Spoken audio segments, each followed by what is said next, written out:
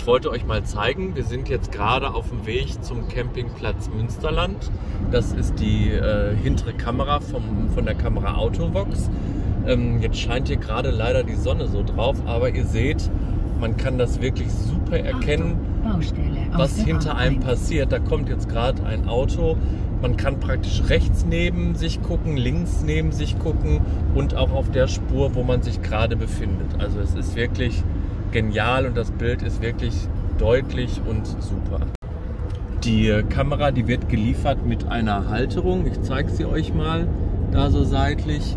Ähm, und dann verlegt man einfach nur ein Kabel. Wir haben das jetzt einfach hier so über unser Armaturenbrett gesetzt. Hier hat der Tiguan so seitlich eine Tasche. Da haben wir das ganze Kabelgedönse dann reingelegt letztendlich ist es dann da am Zigarettenanzünder äh, äh, eingesteckt, um dann halt Strom zu bekommen. Also ganz easy und wirklich das Bild ist ähm, super, super scharf. Anders kann ich das gar nicht sagen.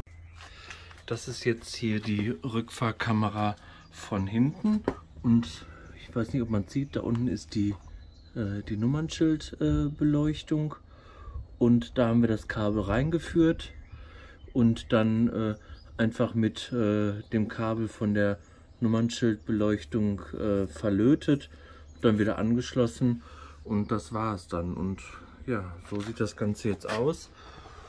Und das Ganze wird äh, per Funk übertragen und wir sind wirklich mehr als glücklich damit, weil man einfach sieht, was hinter einem, hinter dem Wohnwagen passiert.